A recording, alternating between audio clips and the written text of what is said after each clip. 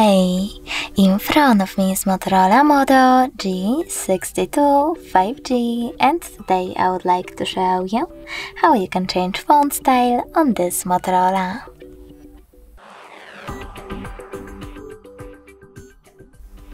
First of all, you need to find an app called Moto. Following that, click on it.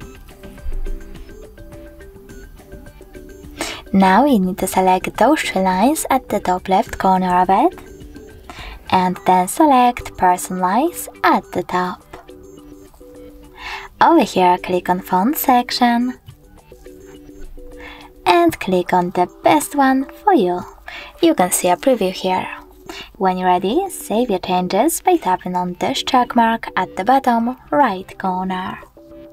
As you can see now, when I go back, style of my font has changed. Thanks so much for watching. If you enjoyed this video, leave a like, comment and definitely subscribe. Bye!